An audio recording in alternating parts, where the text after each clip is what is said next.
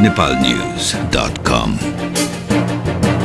News from Nepal as it happens.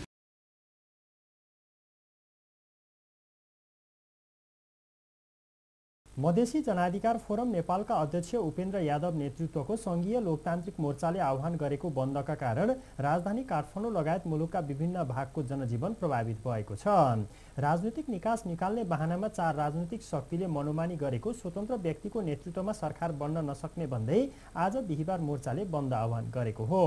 हिजो मात्र प्रधान न्यायाधीशको नेतृत्वमा सरकार गठन गर्न नहुने भन्दै मोहन वैद्य नेतृत्वको नेकपा माओवादी लगायतका दलहरूले नेपाल बन्द गराएका थिए।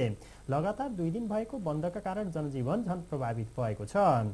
बन्दका कारण राजधानी लगायत देशभरका मुख्य मुख्य सहरका यातायात उद्योग कल कारखाना शिक्षण संस्था बजार पसलहरू बन्द भएका छन् भने एम्बुलेन्स अस्पताल सुरक्षा निकाय प्रेस अति आवश्यकीय सामान बोक्ने सवारी साधनहरू भने निर्वाध रूपमा सञ्चालनमा आएका छन्।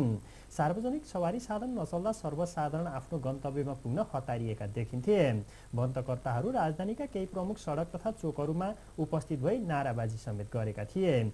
हिजोको बन्दको तुलनामा न्यून मात्रामा बन्दकर्ताहरू सडकमा देखिएका कारण मोटरसाइकल लगायतका सवारी साधन केही बढी चलेका देखिन्थे।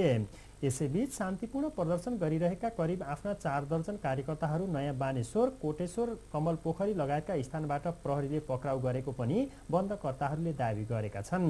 उपेन्द्र यादव नेतृत्वको सङ्घीय लोकतान्त्रिक मोर्चाले आह्वान गरेको बन्द सम्बन्धी समाचार यति नै.